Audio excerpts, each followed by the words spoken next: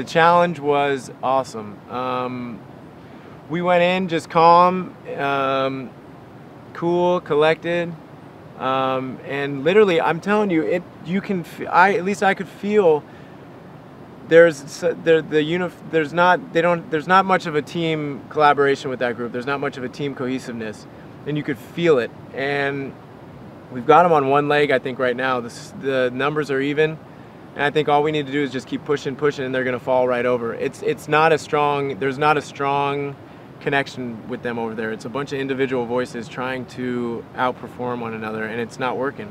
And you could feel it. And after we won, you could just feel the um, almost like a wind being taken out of their sails. And I think if we capitalize, we can definitely capitalize on it and continue moving forward um, and go into this merge with numbers, which would be huge, huge.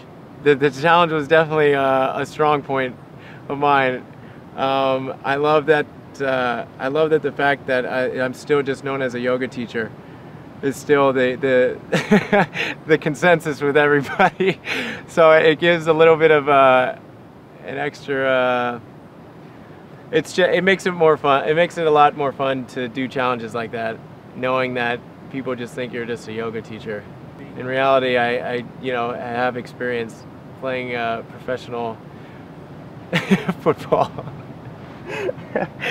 you know, and there's another guy out, Steve. I learned he's a professional. He played for the Dallas Cowboys for a while, and he's nowhere near. Like I understand he's older, but uh, nowhere near as effective in in these challenges as I thought he was going to be, from a physical standpoint and from just a moving standpoint, just a straight moving standpoint. So I'm excited. That was such a pump up, and, and standing there on the mat, knowing. Uh, we all came together for that because it was not just me, it was everybody came together for that to make that possible. Um, I'm telling you, you could just feel this this this surge. It's like we've got some coal, we got some, we're shoveling some coal into this engine, this steam engine, and we're moving, man. And you can you could feel it. Honestly, you could feel it. And these, I hope we have a challenge tomorrow.